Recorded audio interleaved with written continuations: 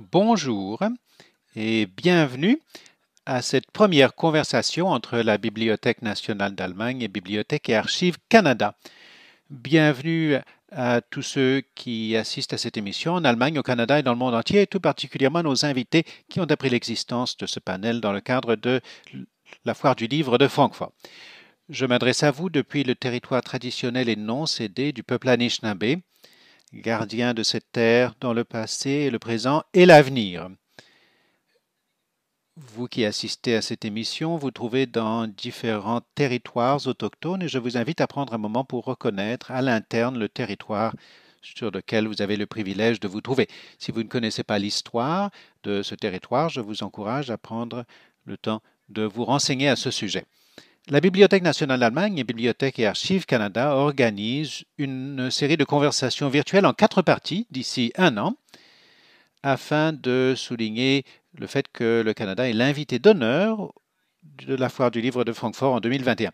Surveillez les sites web de la Bibliothèque nationale d'Allemagne et de Bibliothèque et Archives Canada, où vous trouverez l'annonce de ces événements. Aujourd'hui, nous allons entendre M. Frank Schulze, directeur général de la Bibliothèque nationale d'Allemagne, et Mme Leslie Webb, bibliothécaire et archiviste de Canada. Je vais commencer par demander à Frank de se présenter, puis Leslie. Bonjour, merci Alex pour cette présentation. Bonjour tout le monde. Je suis très heureux, emballé même, d'avoir cette possibilité, la première d'une série de quatre, la possibilité, dis-je, de m'entretenir avec euh, Bibliothèque et Archives Canada au nom de la Bibliothèque nationale d'Allemagne. Je suis heureux de présenter cette dernière, euh, évoquer ses antécédents et sa stratégie. La Bibliothèque nationale d'Allemagne, ou DNB, pour utiliser son abréviation en allemand, est une institution fédérale régie par le droit public, financée par le ministère d'État pour la culture et les médias. Il s'agit du dépôt d'archives central de l'Allemagne. Nous recueillons des documents et archives publication enregistrement sonore paru en Allemagne depuis 1913, ce qui est assez récent pour une bibliothèque nationale, surtout en Europe. Nos collections sont complétées par celles des archives musicales Allemagne et des archives des exilés allemands qui couvre la période de 1933 à 1945. Il s'agit euh, d'une institution de dépôt pour ces autres archives. Il s'agit d'une institution très jeune. Très bien, alors Leslie, à présent, voudriez-vous vous présenter? Oui, volontiers, bonjour. Je m'appelle Leslie Weir, je suis bibliothécaire et archiviste du Canada et je suis ravi de me trouver en compagnie de Frank Schulze pour inaugurer les approches de la foire du livre de Francfort de 2021, à laquelle le Canada sera le pays vedette. Nous allons aborder quatre thèmes très intéressants au cours de ces quatre conversations. Aujourd'hui, nous allons parler de numérisation. Numérisation est un thème très pertinent, surtout en cette époque de pandémie qui souligne l'importance de l'accès au contenu numérique pour tout le monde, dans le monde entier. Merci Alex. Nous pouvons donc passer l'essentiel de notre conversation. Oui, tout à fait. J'aurais également dû me présenter. Je m'appelle Alex Haggart et je vais animer cette discussion. Je suis gestionnaire de projet et conceptrice de l'expérience utilisateur à Bibliothèque et Archives Canada. Mon équipe met au point des services numériques afin de faciliter à nos clients l'accès aux collections de BAC en ligne et les interactions avec celles-ci. Un mot pour nos auditeurs nos spectateurs, nous vous invitons à poser vos questions dans la boîte de dialogue sur YouTube. Nous allons choisir quelques questions de notre public que Leslie et Frank vont évoquer vers la fin de cet entretien. Frank, parlons un peu plus euh, de votre institution et de son rôle. Pourriez-vous nous en dire un peu plus au sujet de la Bibliothèque euh, nationale d'Allemagne et de son rôle dans ce monde en rapide évolution? Oui, volontiers. Bon, je suis tellement emballé par euh, euh, nos antécédents très récents que euh, j'ai été, je me suis, je me suis laissé un petit peu donc emporté par mon, mon introduction. Il s'agit d'une institution jeune mais atypique, fondée en 1913, comme je l'ai déjà dit, par l'association des éditeurs et libraires allemands la Deutsche Buchereien Leipzig, et non pas par l'État allemand. Donc il y a un lien très étroit avec euh, le Salon du Livre de Francfort. Ce ne fut que dans les années 30 que l'État allemand euh, a commencé de financer euh, cette institution, et ce qui reflète bien l'histoire de l'Allemagne. En effet, en 1946, au moment de la division de l'Allemagne, une nouvelle bibliothèque d'Allemagne, la Deutsche Bibliothek, a été fondée à Francfort et il y avait donc à partir de ce moment-là deux bibliothèques, une dans l'Est et une dans l'Ouest. Ce ne fut qu'en 1990, avec la réunification de euh, l'Allemagne, que la Deutsche Buchverein et la Deutsche Bibliothek fusionnèrent pour ne plus créer qu'une seule institution. À l'époque, et ce fut une décision visionnaire, les deux implantations à Leipzig et Francfort furent conservées. Et ce fut euh, une décision marquée d'une grande sensibilité politique le nom euh, Bibliothèque nationale d'Allemagne n'a été choisi qu'en 2006, lorsqu'une nouvelle loi d'habilitation fut promulguée. À l'issue d'un débat considérable, quant à l'opportunité de créer même une bibliothèque nationale d'Allemagne. Je pourrais revenir sur ce sujet plus tard. La stratégie que nous euh, développons à l'heure actuelle, je ne l'évoquerai que brièvement, comporte un certain nombre euh, d'axes. Cette stratégie a été publiée en 2016 pour couvrir la période jusqu'en 2025. Nous l'appelons notre boussole stratégique. On y décrit l'environnement, les défis et nos principes directeurs il s'agit donc du point de départ de notre processus de planification stratégique. Nous sommes en train de formuler le prochain cycle de stratégie pour la période de 2021 à 2024. Ces priorités stratégiques développent les grands axes de notre boussole stratégique. L'essence de nos priorités stratégiques peut être résumée très rapidement. Pour remplir notre fonction mémorielle, nous développons nos collections numériques et mettons au point des formes de présentation conviviales. Nous investissons dans les processus d'indexation numérique ainsi que dans le réseautage interdisciplinaire afin de favoriser la compréhension entre la culture et la science, et le tout afin de nous développer à titre d'organisation axée sur l'apprentissage. L'objectif à long terme, c'est-à-dire jusqu'en 2025, consiste à faire en sorte que nos collections seront entièrement disponibles sous forme numérique. Il s'agit euh, d'un chemin que nous avons entamé lorsque nous, nous, avons converti nos catalogues de cartes en catalogues électroniques. Et à l'heure actuelle, nous avons surajouté à nos collections une tranche numérique intégrale. Nous pourrons en parler dans la prochaine partie de notre entretien. C'est très intéressant, euh, les antécédents de la Bibliothèque nationale d'Allemagne et ses orientations stratégiques. J'aurais une ou deux questions à vous poser en réponse à ce que vous venez de nous dire au sujet des antécédents de la Bibliothèque nationale d'Allemagne. Vous avez parlé de cette boussole stratégique qui s'étend jusqu'en 2025. Pourriez-vous nous dire comment vous avez mis au point ce plan qui a joué un rôle dans sa création et pourquoi vous avez choisi 2025 comme année cible? Eh bien, le processus qui a débouché sur la mise au point de cette stratégie fut très large, très participatif. Nous avons organisé un grand nombre de séances d'information, de consultation avec notre personnel à Francfort et à Leipzig, ainsi qu'avec un certain nombre de groupes externes, avec euh, notre conseil d'administration. Il s'agissait d'un véritable exercice de prise de décision stratégique en 2015, lorsque nous avons énoncé ces grands axes stratégiques, une période décennale nous paraissait pertinente, nous paraissait convenir. Il s'agissait d'un horizon qui euh, serait suffisamment long pour euh, nous permettre de définir des axes assez ambitieux, tout en évitant que la période visée par notre stratégie ne soit trop longue.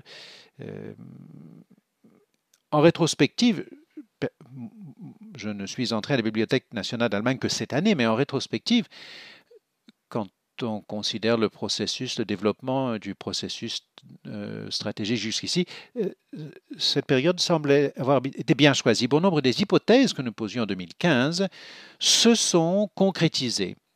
Leslie, pourriez-vous nous en dire un petit peu plus au sujet de Bibliothèque et Archives Canada en tant qu'institution, ainsi que sur ses horizons? Mais volontiers, Alex. Merci pour votre question. Le Canada est assez unique en ce que nous avons fusionné notre bibliothèque nationale fondée en 1953 et nos archives nationales fondées en 1872 afin de créer Bibliothèque et Archives Canada. Et cette fusion est intervenue le 27 avril 2004. Et cette fusion avait pour but de proposer aux Canadiens un point d'accès unique à nos collections ainsi qu'à nos services, aussi bien en présentiel qu'en ligne à l'opposé de la Bibliothèque nationale d'Allemagne, nous sommes un organisme fédéral qui relève du Parlement par l'intermédiaire du ministre du Patrimoine canadien. Bibliothèque et Archives Canada a une mission très vaste d'acquérir, préserver et rendre accessible le patrimoine documentaire du Canada. Nos vastes collections assemblée euh, au fil de quelques 150 années comporte 50 millions d'articles allant de livres aux dossiers gouvernementaux passant par des archives privées, des œuvres d'art, des enregistrements sonores et vidéo et des photos. Nous détenons également plus de 5 milliards de mégaoctets de documents électroniques aussi bien des documents que nous avons numérisés ainsi que des documents créés numériquement nos deux points de service public hors d'Ottawa, la capitale du Canada, euh, sont co-implantés avec des institutions locales. Nous avons un point de service dans la bibliothèque publique de Vancouver en Colombie-Britannique, dans l'ouest, sur la côte du Pacifique. Et puis, à 6000 km vers l'est, nous avons un point de service au Musée canadien de l'immigration, au quai 21 à Halifax, Nouvelle-Écosse, sur la côte de l'Atlantique nous avons également pris une initiative assez audacieuse euh, dans la réimplantation de notre antenne principale à Ottawa. En 2025, nous allons emménager avec nos voisins la Bibliothèque publique d'Ottawa, la quatrième plus grande bibliothèque publique du Canada, et nous construisons ensemble cette nouvelle bibliothèque. Euh, c'est emballant pour nous car nous prévoyons accueillir post-Covid quelques 1,7 million de visiteurs par an, ce qui représente une augmentation par rapport aux 30 000 visiteurs que nous accueillons actuellement dans notre point de service au public à Ottawa. Et nous prévoyons que les caractéristiques démographiques de nos visiteurs changeront. Nous attendons des enfants, des jeunes, des nouveaux Canadiens, des entrepreneurs et beaucoup d'autres euh, lecteurs et utilisateurs qui vont se joindre aux universitaires, chercheurs, historiens généalogistes qui constituent notre public traditionnel. Nous avons écouté ces futurs visiteurs dans les différents groupes démographiques et c'est très important pour nous. Historiquement, nous cultivons des relations avec euh, les communautés bibliothécaires et archivistiques au Canada, mais nous devons également trouver moyen de mobiliser d'autres secteurs de la société, surtout ceux qui ont traditionnellement été marginalisés et sous-représentés. C'est très très important pour BAC de demeurer pertinent pour tous les Canadiens, tandis que nous établissons nos priorités. Chez BAC, nous avons un cercle consultatif autochtone et un conseil consultatif des jeunes qui nous guident dans les contacts avec ces deux communautés importantes et le soutien à celles-ci afin de compléter les avis de nos euh, communautés consultatives professionnelles. Cette année, nous inaugurons un processus d'élaboration d'une vision qui présidera à l'évolution de BAC d'ici dix ans. Donc, tout comme la Bibliothèque nationale d'Allemagne, nous avons choisi un horizon décennal.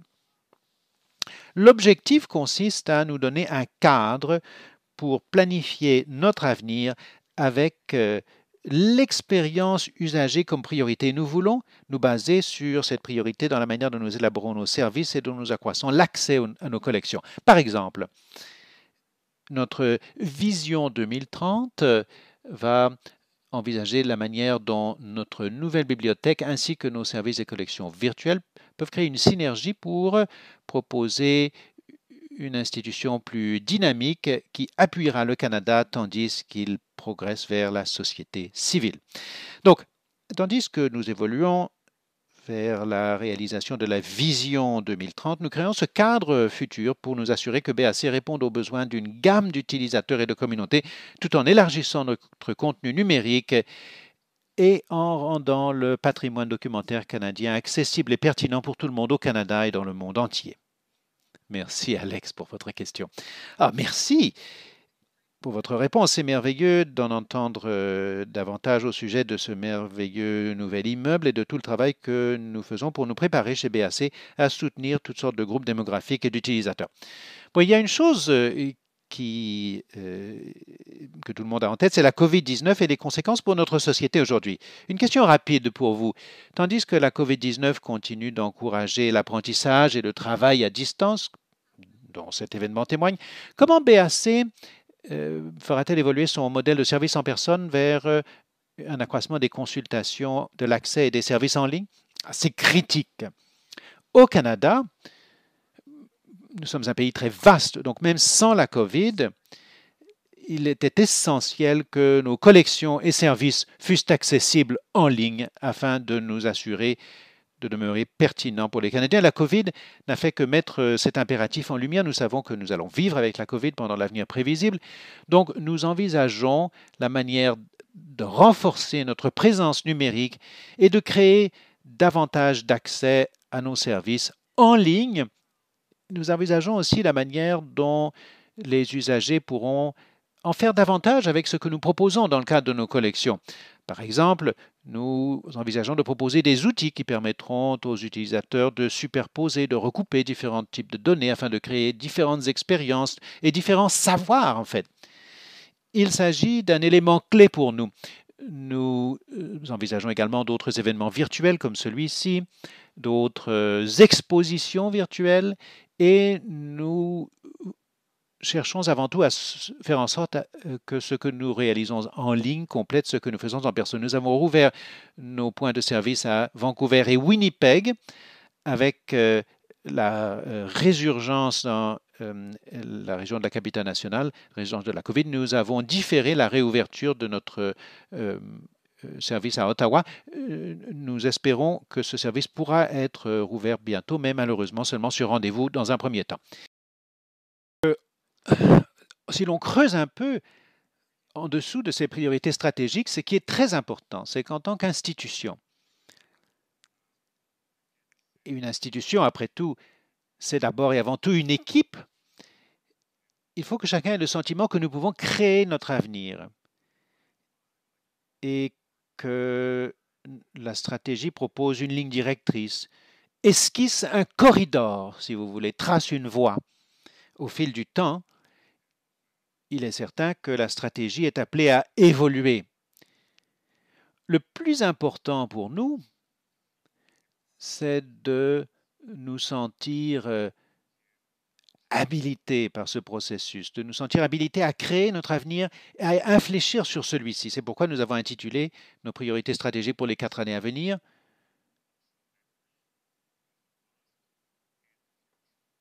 la mémoire culturelle du passé et de l'avenir.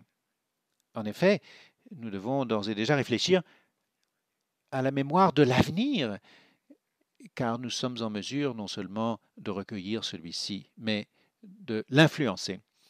Oui, je pourrais intervenir ici. Je crois que c'est assez semblable euh, chez nous. Et pour nous, la vision 2030 sera un cadre, un cadre général et il faut qu'il s'agisse d'un plan évolutif. Si vous créez un plan stratégique, vous euh, célébrez sa création, puis vous, l'encadrez, et il, il, ne déclenche plus, il ne suscite plus, il ne provoque plus un processus de création d'avenir. Il s'agit d'un document qui, dès lors, est un document mort. Chez BAC, nous avons des plans triennaux qui sont de nature tactique, qui nous permettent de euh, définir les mesures que nous devons prendre pour parvenir à nos objectifs immédiats, mais ces plans triennaux s'inscrivent dans un cadre plus général afin que nous sachions ce que notre institution euh, doit être, à quoi elle doit ressembler dans dix ans. Donc, tout comme la Bibliothèque nationale d'Allemagne, nous allons réévaluer régulièrement notre stratégie au contact de notre personnel, de nos usagers et des communautés au service desquelles nous sommes, afin de pouvoir faire en sorte que notre plan soit donc dynamique et réponde aux besoins de toutes nos parties prenantes. Oui, c'est critique d'avoir une feuille de route, certes, mais d'être prêt à euh, emprunter les détours qui se présentent. Merci. Alors, passons à présent à la deuxième partie de notre discussion qui porte sur la numérisation proprement dite, les priorités, les processus. J'aimerais en apprendre davantage sur ce que vos institutions réalisent dans ces domaines. Tout le monde songe aujourd'hui à ce, à quoi il est possible d'avoir accès depuis son domicile, depuis son ordinateur. Franck, pourriez-vous pourriez nous en dire un peu plus sur ce que fait la Bibliothèque nationale d'Allemagne dans le domaine de la numérisation et du renforcement de l'accès numérique? Eh bien, il s'agit effectivement d'un problème crucial. Pouvoir accéder à tout à domicile et avec euh, une licence euh, intégrale, c'est un défi pour un établissement de dépôt légal en Europe et au Canada aussi, je, suppose. Quelques chiffres. Nos collections représentent environ 40 millions d'éléments de médias, dont 8 millions environ sont numériques nativement. Et sur ces 8 millions, seulement 1,3 million d'éléments nativement numériques euh, sont dotés de licences qui permettent de les utiliser en dehors de nos locaux. Comme vous pouvez l'imaginer, nous espérons faire évoluer le droit d'auteur afin de donner davantage d'accès à ces documents, mais je suis convaincu que notre collection tout entière ne sera jamais accessible numériquement. Euh, de l'extérieur. En effet, une partie de notre collection, quoique numérique, ne sera consultable qu'à euh, l'intérieur. C'est pourquoi nous avons toujours cet objectif de tout faire numériquement, mais dans certains cas, il peut s'agir d'une interaction à l'interne dans notre laboratoire média.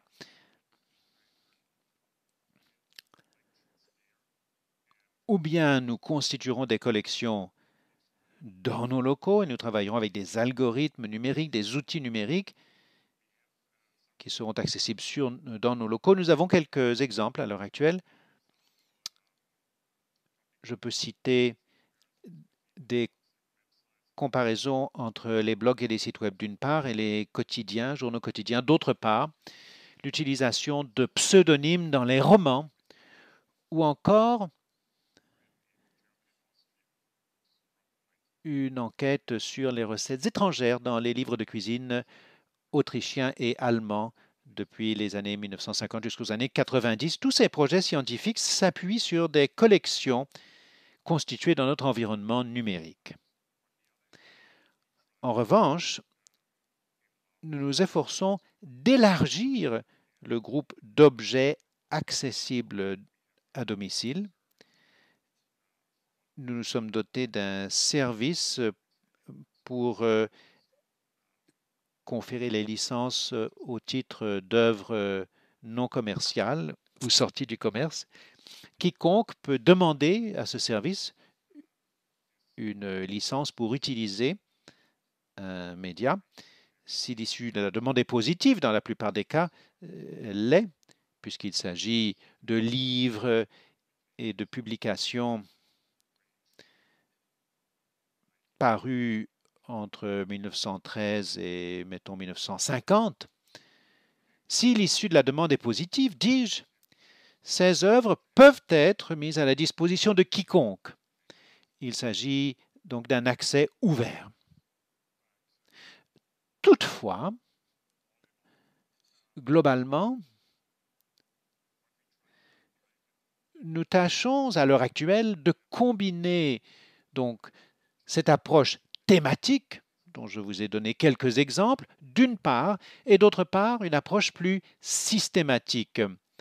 Il s'agira de euh, l'une de nos grandes priorités dans le cadre de la prochaine période euh, stratégique, c'est-à-dire commencer la numérisation systématique de notre collection, en commençant par euh, les œuvres de 1913, en vue de combler toutes les lacunes qui existent dans cette tranche numérique que nous avons superposée à notre collection. Cette formation d'une tranche numérique ne rend pas les objets analogiques obsolètes ou encore moins précieux, mais il s'agit d'une tranche indispensable qui permet aux utilisateurs d'accéder à ces objets sous toutes leurs facettes et de créer la possibilité de participation pour permettre à chacun de s'approprier ces objets. Ce n'est que grâce à la constitution de corpus qu'il est possible d'acquérir de nouveaux aperçus et d'employer des méthodes d'exploitation de données massives euh, ou d'apprentissage machine. Il n'est plus possible d'utiliser des méthodes analogiques pour euh, réaliser des recherches dans les vastes collections que nous détenons ou que, que détiennent d'autres bibliothèques.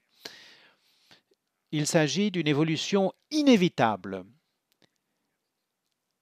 à laquelle nous devons nous adapter, la création d'une tranche numérique susceptible d'être utilisée par les chercheurs, par la culture, la société en général, afin d'acquérir de nouveaux savoirs, de nouveaux aperçus. Et cela peut irriguer nos collections. Donc, en un mot, Voici notre stratégie de numérisation à la Bibliothèque nationale d'Allemagne. Nous jouons un rôle euh, de, chaînon, si vous voulez, dans un réseau d'institutions, car il existe euh, des institutions de recherche, euh, des plateformes plus importantes comme la Bibliothèque numérique allemande, la DDB, qui est le portail national pour tous les établissements euh, de patrimoine culturel, et laquelle alimente Europeana, le portail européen, qui inclut les collections de milliers de milliers d'institutions culturelles, scientifiques en Europe. Ce n'est donc que sur ces plateformes et à cette échelle-là que nous pouvons parvenir au degré d'interaction, au degré d'intégration dans la société en général, la Bibliothèque nationale d'Allemagne est une institution forte en elle-même, mais représente encore une fois un chaînon seulement, un maillon seulement dans tout un réseau de ressources mémorielles et d'institutions mémorielles et patrimoniales avec lesquelles nous nous efforçons de façonner cet environnement de préservation de notre culture. Merci Franck. Euh, j'apprécie particulièrement votre évocation des défis et des opportunités reliées aux droits d'auteur ainsi que l'intégration de la Bibliothèque nationale d'Allemagne dans ce grand réseau de partenariats et de collaboration. Une question. Vous avez dit que la Bibliothèque nationale d'Allemagne va numériser sa collection systématiquement à partir des débuts, à partir de l'année 1913. Combien de temps prévoyez-vous que cela prendra et pourquoi avez-vous décidé de procéder chronologiquement plutôt que selon mm, un autre ordre de priorité? Cela m'intéresserait beaucoup de savoir la réponse à ces questions nous n'avons pas fixé de, délai. Comme je l'ai déjà dit, il s'agit d'une combinaison d'approches différentes. Dans le passé, nous n'avions qu'une approche thématique. Nous disions, bon, si un chercheur vient nous dire, je voudrais faire des recherches sur euh, les romans populaires des années 30, nous numérisions alors une collection de 5000 ou 10 000 romans populaires Donc, nous avons beaucoup de collections numériques qui existent d'ores et déjà et nous allons continuer à procéder ainsi. Mais à présent, nous combinons cette approche thématique à une approche plus systématique.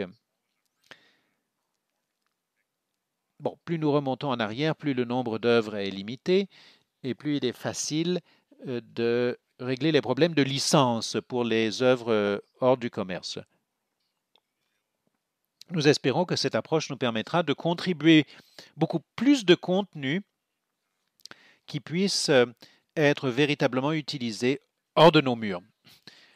Mais, mais, vous avez tout à fait raison, nous ne sommes pas certains euh, du délai dans lequel notre collection numérique sera achevée. La numérisation de nos 40 millions d'œuvres sera achevée. Cela fera peut-être partie de notre prochaine période stratégique de 2025 à 2035. Merci. Et je suis certaine euh, que c'est bien utile justement de pouvoir annoncer ce qui s'en vient afin de susciter l'enthousiasme à l'égard des euh, prochaines opérations de numérisation. Leslie, euh, parlez-nous un petit peu plus de l'approche de la BAC en ce qui concerne la numérisation et l'accès aux collections, mais volontiers, Alex. Donc, en tant qu'institution nationale, la numérisation est essentielle pour nous afin d'assurer que les gens partout au Canada et dans le monde entier aient accès à nos collections. Le portail d'accès numérique est, pour nous est le site, site web de Bibliothèque et Archives Canada. L'an dernier, ce site a été visité 4 millions de fois. Nous avons une présence euh, très, très vaste sur les médias sociaux, Instagram, Facebook, Twitter, YouTube, Flickr. Nous avons des baladodiffusions et un blog. Ces moyens de communication nous permettent de mettre en vedette certains éléments uniques, obscurs, insolites de notre collection et de rejoindre un public plus vaste. L'an dernier, nous avons numérisé 3,4 millions d'images. Il s'agissait euh, d'une petite partie de l'énorme volume de notre collection qui n'est pas encore numérisé. C'est un peu délicat en ce sens que nous continuons de recevoir des archives analogiques ainsi que des fichiers numériques. Numérisons environ 3 à 5% de notre collection, puisque même avec tout ce que nous numérisons chaque année, nos arrivages numériques euh, représentent une somme de données beaucoup plus importante. Cela continue de représenter un défi pour nous. Ceci dit, nous nous savons que nous ne pouvons pas travailler seuls. Donc, tout comme en Allemagne, nous avons adopté une approche nationale, une stratégie de numérisation du patrimoine. Bibliothèque et Archives Canada est l'une des institutions fondatrices de ces stratégies, laquelle favorise une collaboration, une concertation entre institutions culturelles au Canada en vue d'envisager la numérisation du patrimoine culturel du pays tout entier. Nous avons également deux initiatives importantes chez Bibliothèque et Archives Canada que j'aimerais évoquer. Il s'agit de notre laboratoire numérique et de notre collab. Laboratoire numérique permet à des groupes communautaires et à des particuliers ainsi qu'à des universitaires, des généalogistes, de numériser nos collections lorsqu'ils euh, accèdent à nos collections physiques à Ottawa. Il s'agit d'un laboratoire pratique pour les utilisateurs qui leur permet de numériser et de contextualiser les collections de BAC qui représentent une signification pour leur communauté aux fins d'études, par exemple. Et ces collections sont alors rendues publiques. Le, le, but du laboratoire numérique consiste à mettre à disposition une vaste gamme de matériel puisé dans nos collections et qui autrement ne serait pas numérisé à court ou à moyen terme. Donc, en répondant, tout en répondant aux besoins d'une variété d'utilisateurs et de communautés, nous développons notre contenu numérique tout en rendant plus accessible notre patrimoine documentaire et en en accroissant la pertinence. Depuis 2017, lorsque cette initiative a été créée, notre laboratoire a permis la numérisation de plus de 90 000 images, lesquelles sont actuellement accessibles au public. Le Collab, en revanche, est un outil qui permet au public de transcrire, d'étiqueter, de traduire, de décrire des éléments numérisés de nos collections. Dans cette initiative, nous accroissons le contenu numérique de nos collections en donnant au public beaucoup plus d'accessibilité et de possibilités de découverte dans nos collections. Mais pour nous, la numérisation n'est pas une simple affaire de technologie, c'est aussi une question humaine. Tout à l'heure, j'ai évoqué l'importance pour nous de travailler avec des communautés sous-représentées. Je voudrais donc signaler trois projets qui visent à rendre le contenu autochtone numériquement disponible. Le premier projet s'appelle Écouter pour entendre nos voix vise à numériser et décrire les centaines de milliers d'éléments reliés aux peuples autochtones dans les collections de Bibliothèque Archives Canada. Le deuxième projet vise à numériser des euh, archives et des éléments documentaires dans les communautés inuit, métis et des Premières Nations. Enfin, la majorité des personnes représentées dans les images et les photos des collections de BAC ne sont pas identifiées. Bon nombre de descriptions archivistiques sont absentes ou encore, pire, reflètent euh, les préjugés et attitudes de la société non autochtone de l'époque. Bibliothèque et Archives Canada a établi un partenariat avec des communautés autochtones dans le cadre euh, du projet d'attribution de noms qui permet aux communautés autochtones elles-mêmes de participer à l'identification des lieux et des personnes euh, représentées dans les photos des collections de Bibliothèque et Archives Canada afin de combler les lacunes et de rendre ces documents plus accessibles tout en reconnaissant les personnes qui sont représentées dans ces images. Nous avons commencé à petite échelle. Nous nous sommes concentrés dans le nord avec les communautés inuit. Notre objectif était de 500 images décrites pendant la première année. Il s'étend à présent à l'ensemble du pays et à l'ensemble de nos communautés autochtones. Nous avons décrit plus de 10 000 photos. Donc, le Canada est un pays très vaste. Nous avons 37,5 millions de personnes répartis sur 3,8 millions de kilomètres carrés. Et 6 000 kilomètres séparent notre côte pacifique de notre côte atlantique. Le défi consiste à être accessible pour tous et c'est grâce à nos collections et services numériques que nous pourrons parvenir à cet objectif. Et comme nous le signalions plus tôt, euh, la euh, COVID rend cet impératif encore plus important. Merci. Euh, ces initiatives paraissent fort intéressantes. Le projet d'attribution de noms en particulier, le, le Collab, qui, euh, qui, est un projet qui m'est très cher puisque j'y ai travaillé. Alors, pour en revenir au contenu numérique, le contenu numérique euh, n'est utile que dans la mesure où il est possible de le découvrir. Pourriez-vous évoquer les outils de recherche qui sont disponibles à BAC pour permettre aux chercheurs d'accéder aux documents ou de les découvrir, fût-ce par hasard? Il s'agit d'une question très intéressante car bien sûr, nous devons tous gérer un changement technologique rapide et avec le rôle important que joue le web et, les possibilités de découverte, nous possédons tous des systèmes historiques dans lesquels nous décrivons nos collections. Chez BAC, nous avons mis au point une initiative portant sur les recherches dans nos collections qui permettent aux chercheurs de faire des recherches dans l'ensemble de nos collections, étant bibliothèque et archives nationales, ce qui signifie qu'il y a eu des pratiques différentes entre les deux professions pour décrire les éléments de la collection. Cela crée des défis lorsque des euh, usagers cherchent à accéder des documents dans l'ensemble de notre collection. Nous sommes assez fiers du travail que nous réalisons en matière de recherche. Nous utilisons une approche dite agile. il s'agit du développement par cycle axé sur l'expérience de l'usager et la possibilité pour ces derniers de trouver des documents dans notre collection alors même que nous euh, cherchons à réaliser des plans ambitieux en vue de remplacer et de mettre à jour nos systèmes historiques. Très intéressant. Bon, j'ai une question pour vous deux. Vous avez tous deux évoqué la technologie, euh, le rôle de la technologie, des systèmes, des produits technologiques en vue d'aider les usagers à s'y retrouver dans la collection.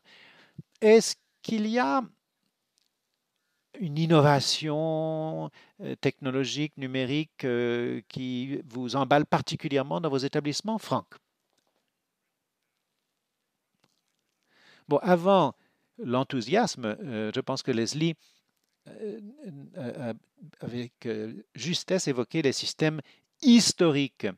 Toutes les grandes bibliothèques et archives possèdent de tels systèmes et nous devons toujours établir un équilibre entre l'évolution, d'une part, le développement de ces systèmes historiques, et d'autre part, la création de nouveaux outils, de nouveaux services, soit qui s'y superposent, soit qui s'y juxtaposent. Donc, je, crois que ce qui sera vraiment intéressant dans l'avenir, ce sera bon, euh, euh, ce sera multiple. L'avenir sera multiple. Je voudrais dire quelques mots sur les éléments textuels, puis sur les éléments audio et vidéo. S'agissant des éléments textuels, cette création d'une tranche numérique est particulièrement intéressante. Nous avons commencé par les tables des matières. Euh, cela ne pose aucun problème du point de vue légal, nous avons numérisé plus de 2 millions de tables des matières et nous allons numériser encore 2 ou 3 millions. Et nous venons d'intégrer ces tables des matières dans nos moteurs de recherche, euh, notre moteur de recherche, lequel se superpose à notre catalogue. Vous pouvez faire des recherches non seulement au, au niveau des métadonnées conventionnelles, mais également au niveau pour tous ces auteurs, pour tous ces titres, pour tous ces autres documents au niveau des tables des matières. Je pense que c'est très utile pour la plupart des utilisateurs, lesquels peuvent approfondir l'étude euh, d'un livre. Cela se fait de façon structurée. Je pense que c'est un service que Google, par exemple, n'a jamais proposé.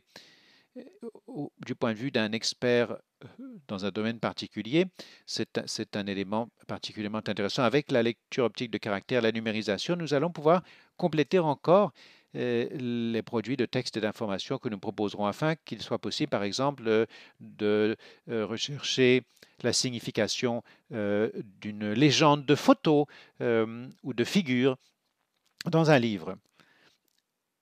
Mais ces éléments appartiennent bon, sont techniquement possibles à l'heure actuelle, mais appartiennent à l'avenir.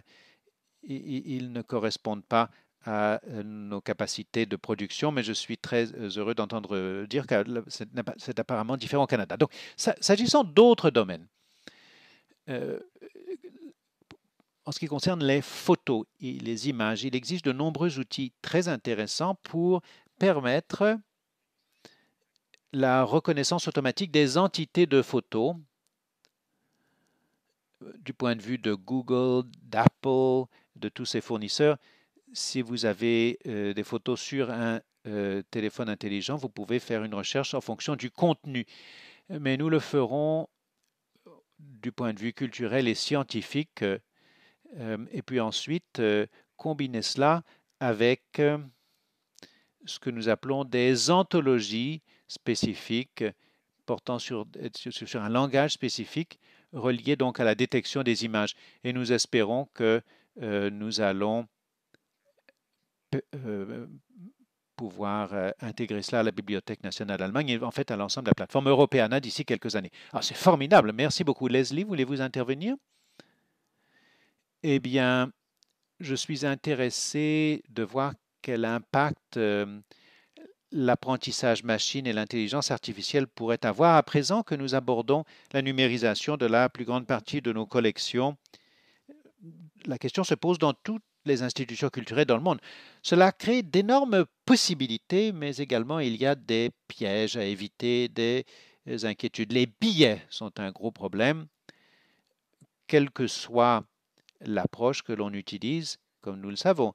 Les données ne valent que dans la mesure où elles sont créées et rendues accessibles. Mais ces outils nous permettront d'accroître les possibilités de découverte et l'accès à nos collections. Et puis, il y, a un autre élément qui m'intéresse particulièrement en ce qui concerne les services. J'aimerais beaucoup que nous abordions la réalité augmentée des technologies immersive. Je songe aux opportunités pour les usagers de vivre des moments d'histoire en étant placés à l'intérieur de ces moments, soit euh, à leur domicile ou peut-être dans notre nouvelle bibliothèque que nous construisons avec la Bibliothèque publique d'Ottawa, afin que nous puissions concrétiser l'histoire. Ce n'est peut-être même pas l'histoire, c'est peut-être la vie d'aujourd'hui. Il s'agirait de donner aux gens la possibilité de savoir euh, ce que c'est que de vivre euh, dans le nord du Canada, au Nunavut, dans les territoires du nord-ouest, au Yukon, alors que, que l'on est citadin euh, habitant Toronto, Montréal ou Ottawa et que l'on ne sait vraiment pas ce que c'est que de vivre dans une collectivité rurale ou éloignée. Au Canada, compte tenu de la vaste étendue de notre pays et de l'éparpillement de notre population, parfois nous ne comprenons pas les variations dans l'expérience, dans le vécu de nos concitoyens. Et je pense qu'il y a de nouveaux outils qui sont en cours de mise au point que nous pouvons utiliser en vue de créer ces expériences enrichies.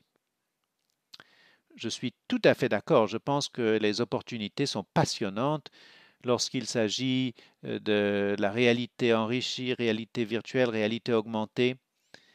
Il s'agit d'une technologie de pointe euh, qui s'inscrit certainement dans notre avenir à tous, ainsi que, comme vous l'avez tout deux dit, euh, l'utilisation d'algorithmes et d'apprentissage machine pour exploiter les données de ces collections, surtout alors que nous abordons de plus en plus des documents nativement numériques. Ils sont accompagnés d'une vaste quantité de métadonnées. C'est donc très intéressant. Alors, nous approchons de la fin de l'heure dont nous disposions. Je rappelle à nos spectateurs et auditeurs que vous pouvez poser des questions dans la boîte de dialogue euh, YouTube. Nous allons consacrer ces dix dernières minutes à un entretien euh, euh, et, le cas échéant, à répondre aux questions de notre public. Alors, tout d'abord, ah, j'ai une question qui s'adresse à tous deux. Et encore une fois, une question que tout le monde se pose. La COVID-19. Euh, je voudrais en savoir un peu plus sur euh, l'impact de la pandémie en ce qui concerne votre organisation. Bon, peut-être pas seulement l'accès à vos collections, mais la manière dont vous travaillez, euh, votre personnel, vos processus, et ce que vous faites pour vous adapter en cette époque difficile? Frank. Oui. Eh bien,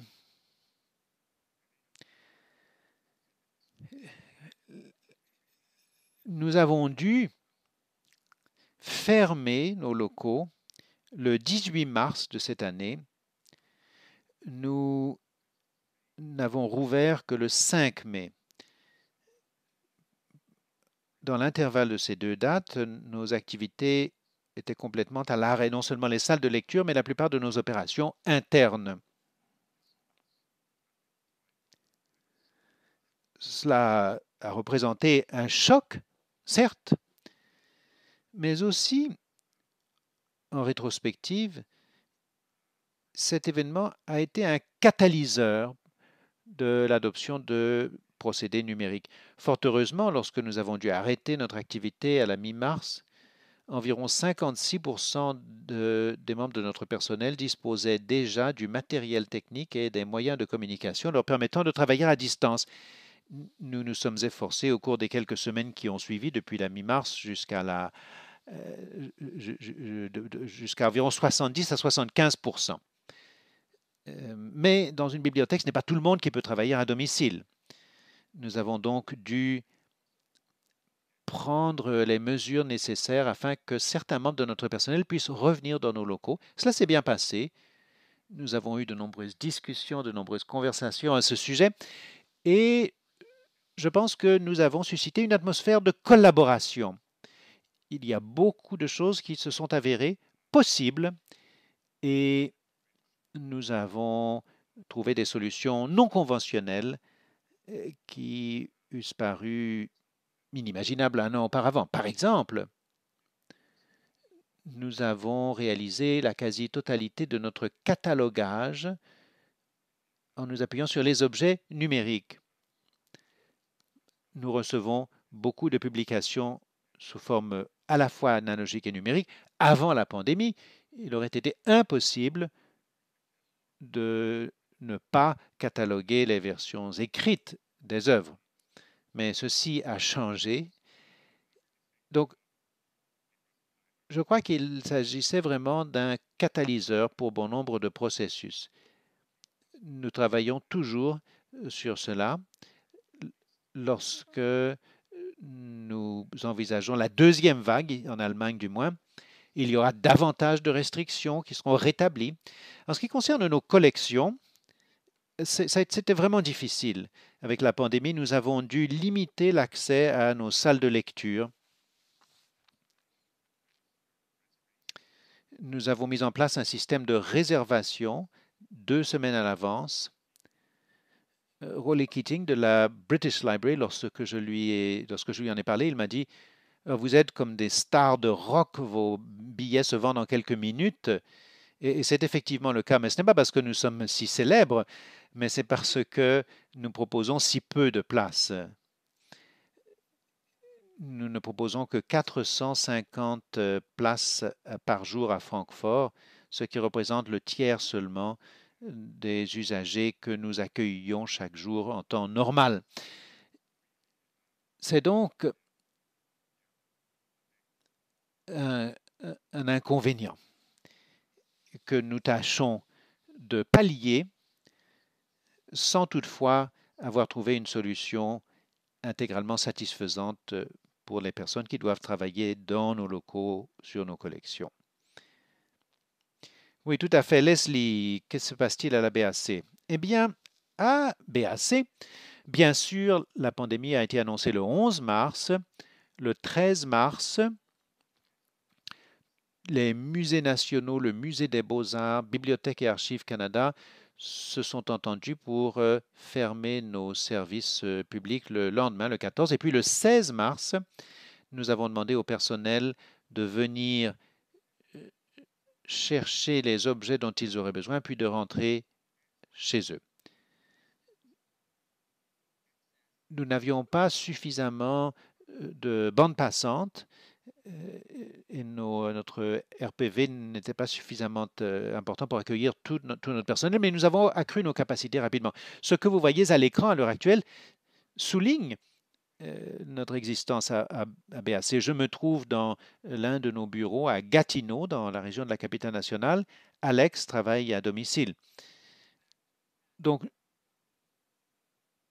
nous n'avons pas rouvert nos services au public complètement depuis le 14 mars, que ce soit sur rendez-vous ou autrement.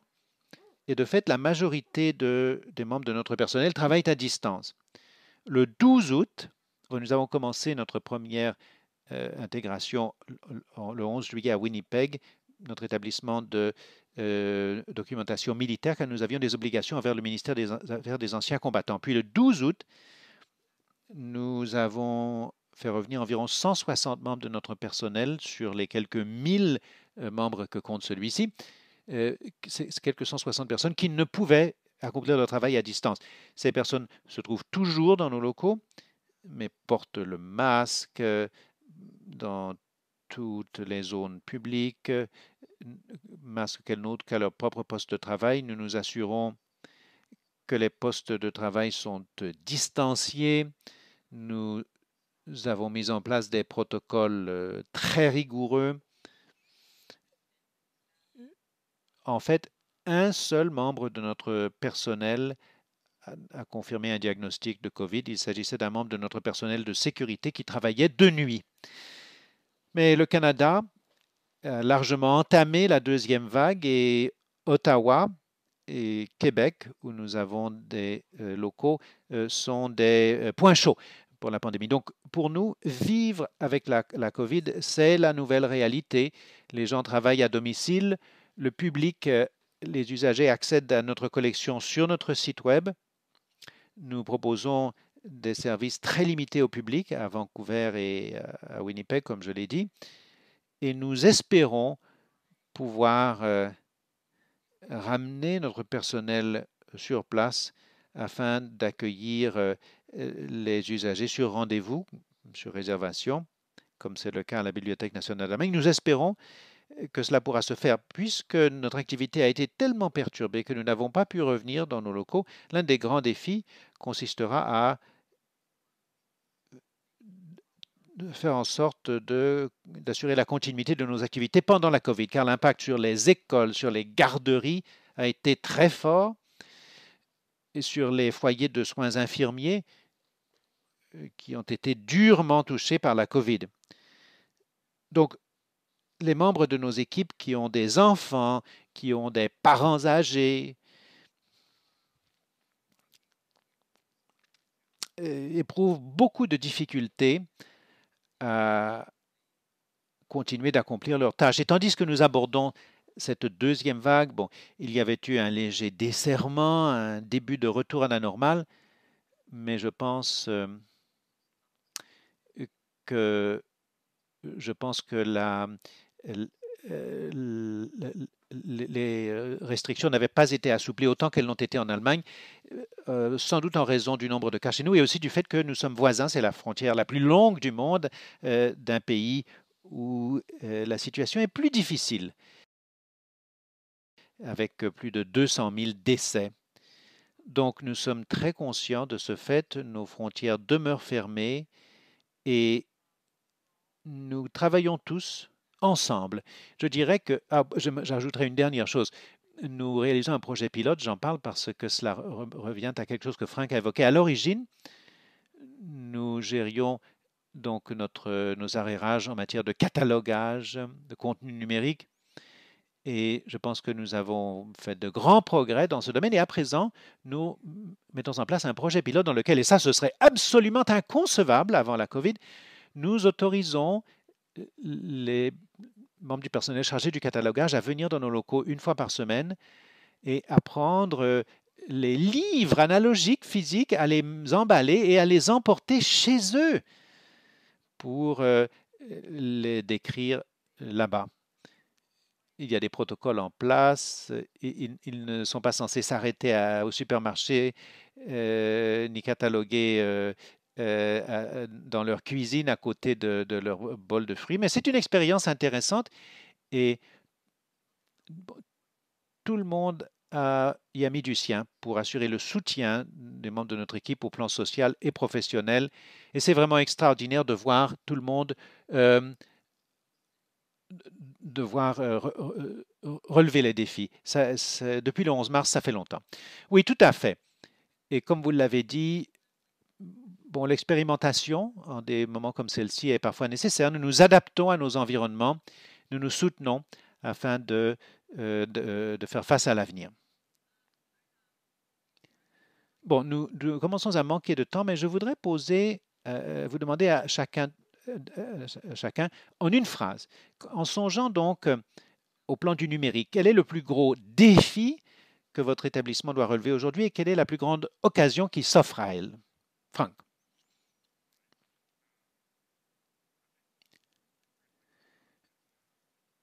Eh bien, commençons par l'occasion à saisir. L'occasion la plus féconde qui s'offre à nous est la suivante. En tant que communauté d'institutions mémorielles, nous pouvons activement nous approprier les possibilités de la numérisation et influer sur elles afin que notre patrimoine culturel soit plus visible, plus accessible et plus adaptable pour beaucoup de communautés. Il s'agit également du défi, le défi de l'ouverture, le défi de la mise à disposition dans un format susceptible d'être adapté. Leslie, eh bien, je dirais que pour les institutions culturelles au Canada, le plus grand défi, c'est en fait le plus grand défi pour le Canada, c'est-à-dire que nous n'avons pas euh, une bande passante, euh, nous n'avons pas de haut débit disponible dans beaucoup de communautés au Canada. Beaucoup de communautés éloignées et, rurales n'ont pas d'accès à haut débit. Et en fait, il y a beaucoup de gens dans les grands centres urbains qui, euh, qui, ne disposent pas d'un haut débit euh, qui corresponde à leurs moyens. C'est un défi de taille car nous pouvons rendre tout le contenu imaginable disponible, mais si les gens ne peuvent pas y accéder chez eux, et dans leur communauté, eh bien, je pense que c'est euh, une lacune importante et nous travaillons de concert. Nous encourageons l'investissement dans ces domaines au Canada. parallèlement, je pense que la COVID pourrait en fait euh, avoir des conséquences euh, positives pour les institutions culturelles, puisqu'il sera désormais évident que leur contenu devra être numérisé. Peut-être des investissements supplémentaires nous permettront-ils de rendre une beaucoup plus grande partie de notre contenu accessible à nos communautés pour nous aider à mettre au point les outils dont Franck et moi avons parlé afin de faire en sorte que, euh, que notre contenu soit encore plus susceptible d'être découvert. Et bon nombre de groupes créent des groupes de réflexion en vue de susciter des collaborations entre établissements pour réinventer les bibliothèques, les archives, les musées des beaux-arts et autres dans le monde de la post-Covid. Eh bien, je pense que c'est un excellent mot de la fin. Oui, il y a des défis à relever, des occasions à saisir. Nous nous en tirerons en collaborant. Je voudrais vous remercier, Frank Schulze, Leslie Weir, pour votre temps, pour les aperçus que vous avez partagés avec nous. Je remercie nos spectateurs et auditeurs d'avoir participé à cet événement virtuel. Comme je l'ai dit au début, il s'agit de la première d'une série de quatre conversations virtuelles qui se dérouleront d'ici un an entre la Bibliothèque nationale d'Allemagne et Bibliothèque et Archives Canada. Le prochain événement de la série se déroulera en février 2021, donc restez à l'écoute et euh, surveillez les sites de BAC et de la Bibliothèque nationale d'Allemagne. Nous avons hâte de vous reparler bientôt. Au revoir. Au revoir et merci, merci Franck, merci à tous. Merci.